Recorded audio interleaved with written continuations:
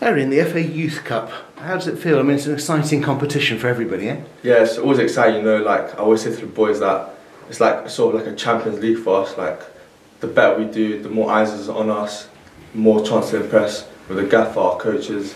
But overall, it's like a good experience for all of us. Against Horndean, though, and everyone will go, oh, Horndean, you know, Yeah, never heard, where are they? Yeah. But it doesn't work that way. Yeah, you know, it's always these these- these type of teams like they want to prove something to us. Like we're a professional club, and every day we're working hard, but you know they want to put one over, over us. If you were a Horndean player, Yeah. you would love this opportunity. Yeah, of you? course. You know, they're not probably like high level, but they want to show to us like what they're about, try and win the game. What do we know about Horndean?